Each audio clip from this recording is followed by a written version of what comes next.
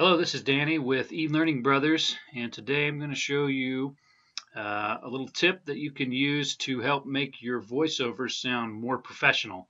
I've done a lot of audio editing for voiceovers and narrations to be put in e-learning courses, and one of the main things that always sticks out to me is the amount of background noise that gets through into the audio clip. There's a couple of nice features in most uh, audio editing software that'll help you remove that background noise and uh, make your audio clips sound more professional. Um, so that's what I'm going to be showing you how to do. My preferred software for audio editing is Adobe Audition. Uh, so I'll show you how to do it there first, and then I will also show you how to remove background noise in Audacity, which is a uh, free program that anyone can download. So um, in Audition, if you look here, I've got the spectral display visible. And if you get into Audition and that's not showing, then all you have to do is press this button up here. So this is kind of the default view. You just see the waveform. This is a stereo file. I recorded it in stereo.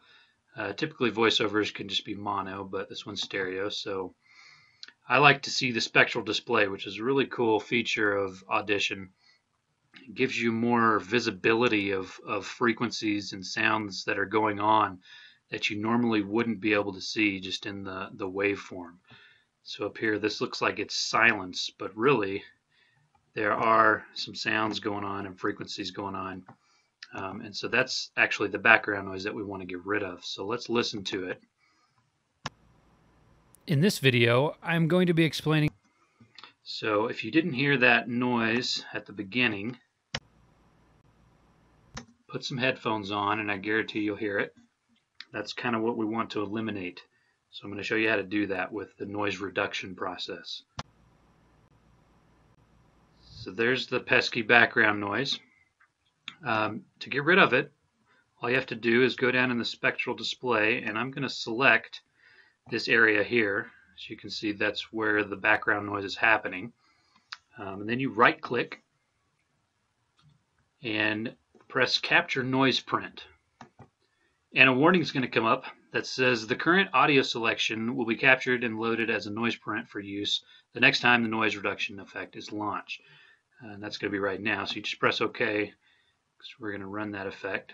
So an important thing is to deselect the selection that you've just made. Go back to effects noise reduction process, or the shortcut is Control Shift P, or Command Shift P if you're on a Mac. So I'm gonna just put it at the default settings here, and let's hear what it does. In this video, I'm going to be. So if you listen to that beginning portion again. In this video, in this video, it's pretty much eliminated that background noise. So you can uh, mess with the settings here and kind of fine tune uh, what's going on. And actually, I'd encourage you to mess around with the settings just to see what the effect does. It's always good to, to do that. Um, you can change all of these things and kind of fine tune it. Um, but again, I'm just going to leave it at the default setting and I'm going to deselect that press Control A. I'm going to press apply. And as you can see in the spectral display, that uh, those frequencies and sounds are gone. Uh, so let's uh, hear what that sounds like now. In this video, I'm going to be explaining how to utilize the noise reduction effect in Adobe Audition and Audacity. This So if you're wondering, this the sounds going on right here, that's me breathing. So if I was actually editing this clip, I, I might think about taking that out. Um, but right now we're just concerned about removing the background noise. So we've successfully done that with in Audition here. Uh, it's not that hard. You just have to capture the noise print and then use that effect to the, the noise reduction process. So let's head over to Audacity. I've got this same audio clip here in this video, I'm going It's got that background noise. Now Audacity uses the same approach. You need to capture a noise print. for it to process. So I'm going to select these first this first second of audio and then you go to effect noise removal and it says step one select a few seconds of just noise. So Audacity knows what to filter out then click get noise profile. So I'm going to do that because we have selected this noise. Now deselect it and go back to effect noise removal. We've already done step one. Again, I'm just going to leave it at the default settings here, but you can mess with this. Um, and let's preview it.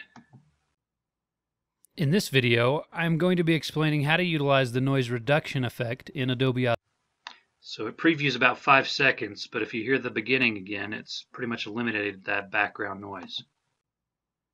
In this video, I'm So you just press OK to apply it to the entire clip and let's take a listen. In this video, I'm going to be explaining how to utilize the noise reduction effect.